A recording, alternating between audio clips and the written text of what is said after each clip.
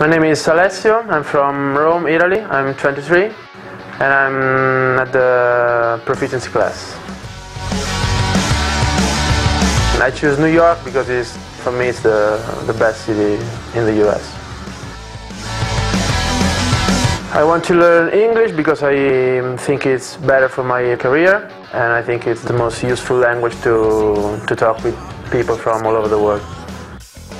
I came here alone. I met a lot of friends here at school uh, from almost all over the world. The thing I, I enjoy most about my, my classes is that when we are talking about some, some topic, you listen and you understand what are the common behavior in, in other cultures. And so it, it's really interesting.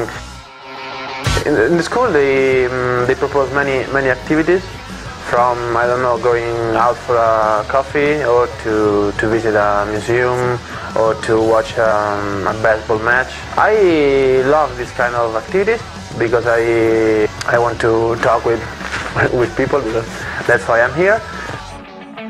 I think that EC in New York is a really nice school because it's in the center of Manhattan. Downstairs in, in Broadway you can see everything.